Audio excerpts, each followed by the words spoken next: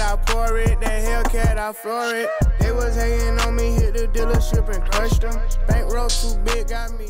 What is up, guys? It's Upcome Sports here with the Madden 20 Tampa Bay Buccaneers realistic franchise. This is episode one of this series. Make sure you drop a like if you want to see the upload schedule that I just made. There will be a link in the description. Make sure you share this video with your friends and make sure to subscribe with notifications on so you don't miss a video.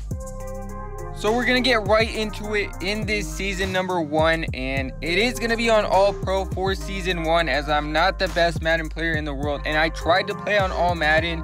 It's just too insane. You can ask anyone, and they'll say All Madden is way too crazy, but simulation based, I'm going to control everything, so everything is going to go through me, and checking out the team, we've got Jameis Winston, a 76 overall with star development.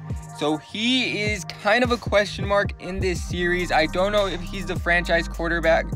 Um, obviously, he's got some good traits to him. He's shown flashes of being a really excellent quarterback, but his turnovers and his decision making are not the best.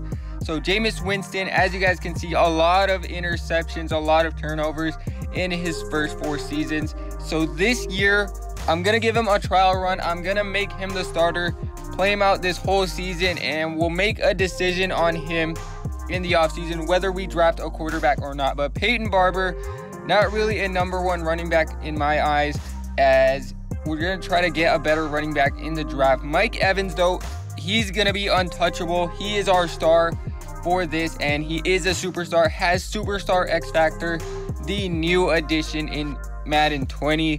And if you don't know what it is, basically he has super overpowered things that once he gets hot, like nobody can really stop him.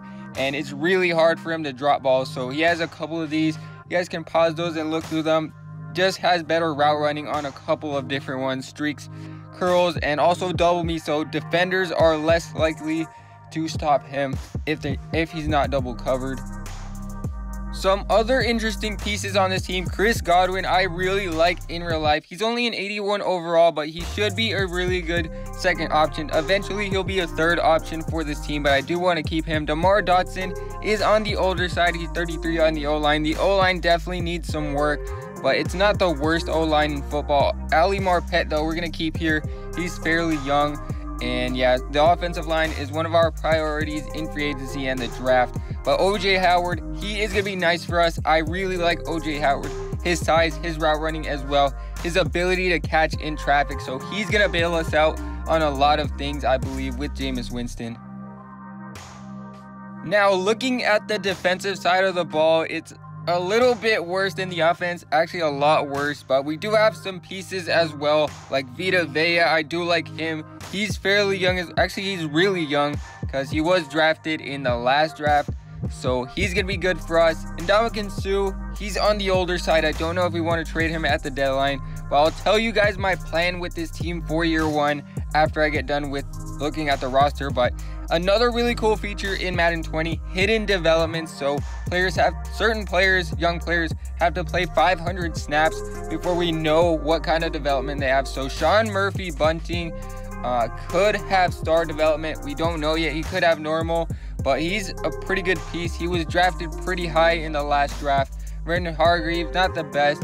So definitely our corners need a lot of work and our safeties. Our safeties and corners are not the best. Justin Evans, though, is serviceable. I do want to keep him on the team, but not as the number one uh, safety. Carl Nassib, he's pretty good. Devin White, though, I'm really excited to play with him. I like using the linebackers in Madden, so Devin White is a beast. He is from LSU, and he he's just a monster. If you guys haven't seen him play, go look up some Devin White highlights. He's going to be good for us. He's going to be insane. So he has also hidden, but he's probably a star. Lavonte David, also insane. 90 overall. Probably our best player on actually second best player to Mike Evans, but our best defensive player by far, the defensive captain. So he's gonna be super good for us as the defensive captain. Shaquille Barrett, also a really young piece, really good piece, has star development as well. So he's a 77 overall. Do expect a lot of sacks from him, and he's still fairly young, so he should be able to grow as I said, the safeties needs a lot of work. MJ Stewart, a 69 overall. as a starter. Corners also a priority, but special teams, our kicker is a rookie. So I don't know how that's to go. He's only a 70 overall, Matt Gay. So we'll see if the kicking game is a little bit faulty. We might look for someone, but special teams, there you have it. And we do have a couple of injured guys here, and that is Kendall Beckwith, who is a 71 overall middle linebacker, and also Jason Pierre Paul, who's a 78 linebacker. So a couple of linebackers injured, and they're going to be out for quite a while. So I don't know when they'll be back, maybe for season two.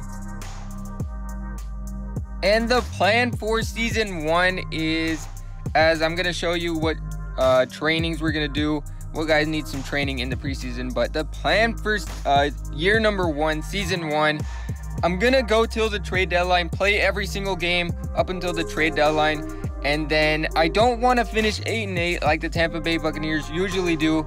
Uh, I'll show you guys the schedule. You guys can pause it if you would like, but I don't want to go eight and eight. I either want to make the playoffs or have a really good pick in the draft. So at the trade deadline, I'm either gonna buy in or trade some pieces. But for sure, I either want to make the playoffs or I want to be really bad and have a really good draft pick. So that's the plan.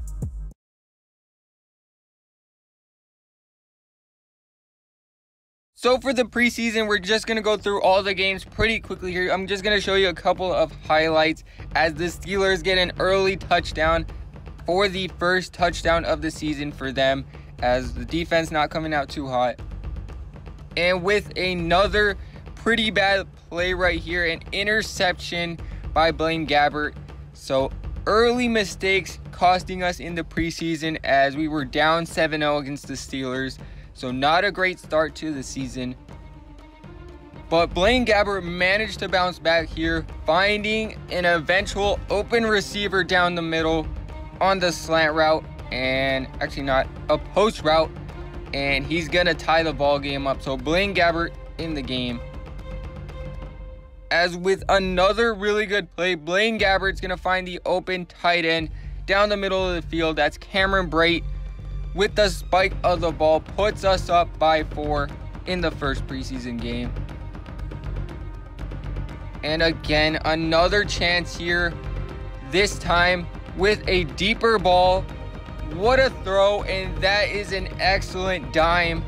What a dot by Blaine Gabbert. Three touchdowns on the day and the Tampa Bay Buccaneers managed to pick up the W with Blaine Gabbert playing most of the snaps. Jameis Winston only really took nine attempts.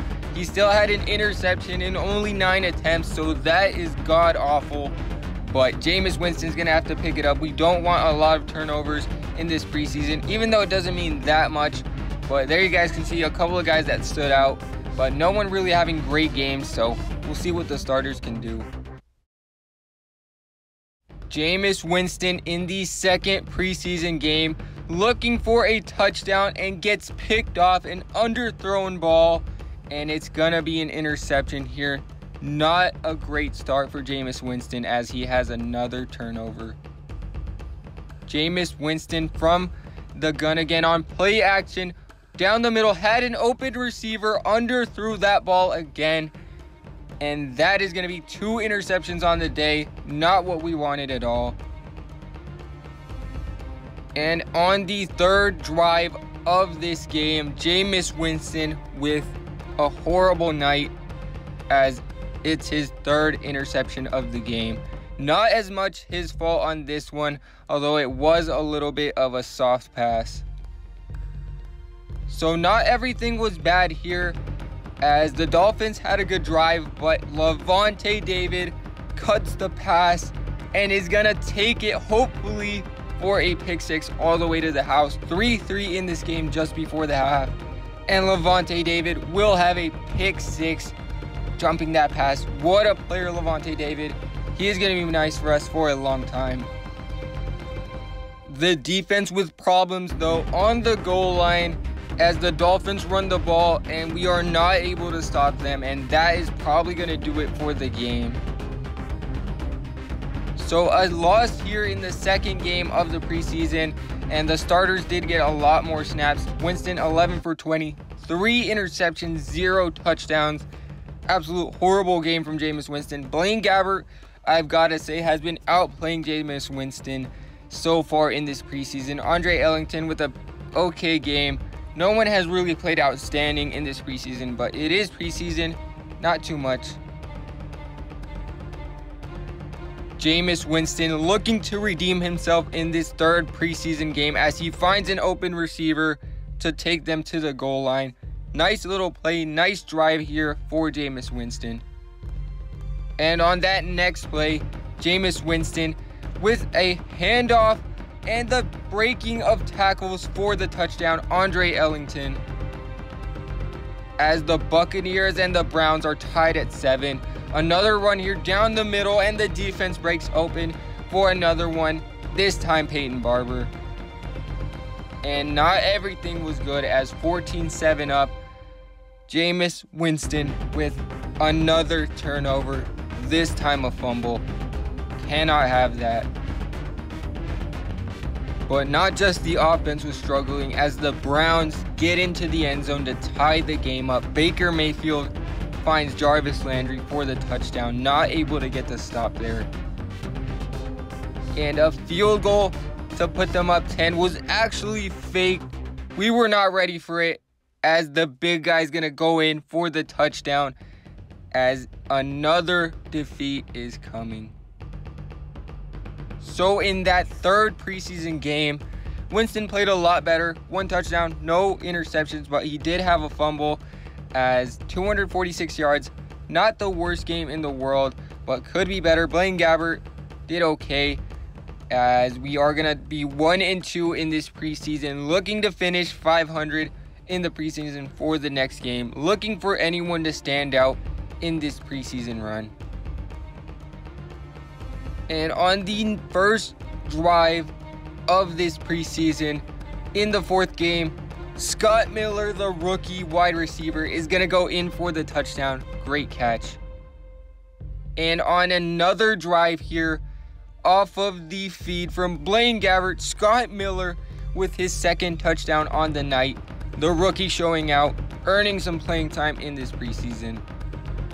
So that is going to be a W for that final game of the preseason as Blaine Gabbert played pretty well two touchdowns to zero interceptions. Jameis Winston didn't really play much, wasn't able to do much against the Cowboys, but two and two on the preseason. Not a bad little showing, but we definitely got to pick it up for the regular season. Scott Miller, though, 75 yards, two touchdowns. So he's proving that he deserves some playtime here. So if you enjoyed this episode, make sure that you don't miss the next episode. Episode 2 will be on Saturday, probably at 3. You guys can see the upload schedule. Link in the description if you have Twitter. So that will tell you when I'll be uploading all of the next episodes. But if you enjoyed, make sure you drop a like, leave a comment. I'll take any suggestions for this series on the road to 500 subscribers.